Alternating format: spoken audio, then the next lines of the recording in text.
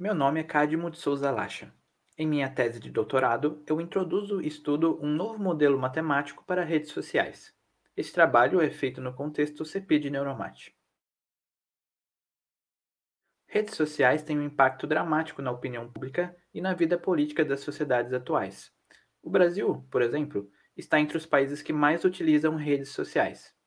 Além do que, estudar redes sociais é um desafio científico muito interessante. Modelar é como fazer uma maquete reduzida que tem os elementos mínimos necessários para reproduzir os fenômenos observados nas redes sociais e fazer predições a respeito deles.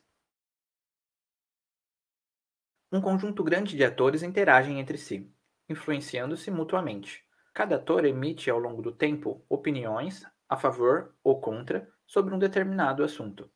Cada vez que um ator emite uma opinião, ele zera suas convicções e fica à escuta das reações do grupo.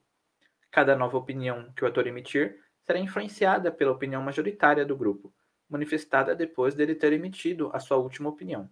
Essa influência será sentida com maior ou menor intensidade em função do grau de polarização da rede.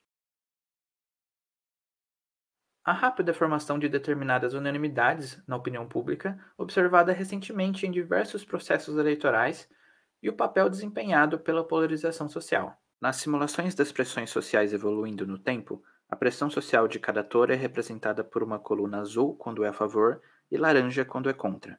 Mesmo partindo de uma situação equilibrada, a rede rapidamente chega à unanimidade, que pode ser contra ou a favor. Um primeiro teorema mostra rigorosamente que uma certa estrutura de influência entre atores sociais leva inevitavelmente à unanimidade dentro do grupo social.